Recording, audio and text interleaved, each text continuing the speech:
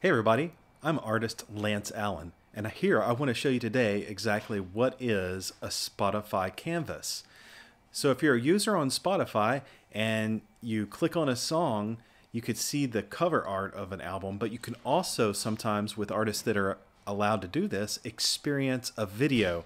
And it's basically an eight second video that allows you to uh, enjoy a little something from the artist. And uh, I am one of those artists that has the ability to do that. And basically, you open up Spotify and you go to an artist page like that, and you click on their song, and it starts playing. And if you click on the bottom part right here, this is called the album view. And you'll see there a little eight second video playing, and it just loops, okay? Um, and you can do various things with that. Okay. As an artist, I can do various things with that. As you could see, I asked you to follow me. If you don't um, follow me on Spotify, feel free to do so. Those links are down in the uh, YouTube description. But here's another example of how I use this.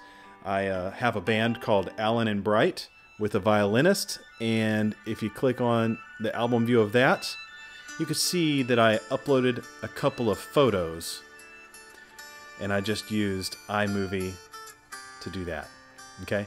Some artists have little clips of uh, something from one of their sets, maybe, or something.